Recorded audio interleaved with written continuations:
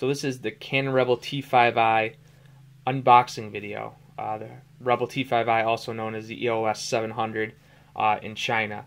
Um, right into it. Open it up. It's a few flaps.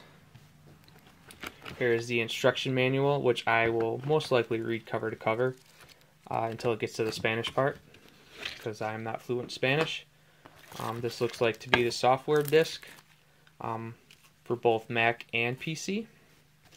Now let's get to the good stuff. First thing you notice right away is a Canon strap. Comes with most cameras. Uh, probably says EOS on it, that's what I'm going to assume. Uh, always wear that on your camera because that's going to be one of the important things. Cable here looks to be a mini HDMI connector to hook up to your computer if you want to do soft updates, software updates or whatnot. Uh, right here, have the battery for the camera. Very important. Need need that. Battery charger. Need that as well. Um, it all looks packaged pretty good. Um, I was nervous at first because I was told not to order them off of Amazon, which is where I bought this in a package deal. But it seems to be packaged pretty good, and at first glance, I don't notice anything too damaging. Um, here is the lens, 18 to 55 milliliter lens uh, that comes standard with the camera. I also purchased a uh, 55 to 250 milliliter lens, which I will show immediately after this. And here it is.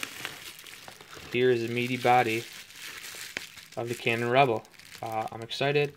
Um, I'm going to put it together for you. The other lens that came with the package, 55 to 250, 250 millimeter uh, Canon lens, uh, STM, so I could shoot great video on it. Um, that's important. And so now I got two lenses to start off my camera with. And here is the actual body of the camera. Just like I had imagined. Everything I've ever dreamed of. Uh, big features obviously are the full 360 spinning dial. Uh, hot shoe obviously. Um, pop up pop up uh, lens flash.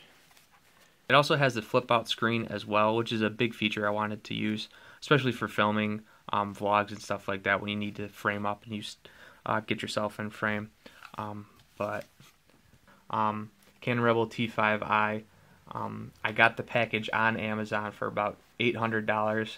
Came with the camera body, two lenses, uh, tripod, a bipod, uh, memory card wallet, lens cleaner, uh, 64 gigabyte memory card. Um, so it was a pretty good package deal. It came with a few LED lights. So uh, it's it's a really good uh, beginner starter kit that um, I'm excited to get using. And uh, like I've said before, this only means more videos for me. So now that I made the investment, it's time to pay up.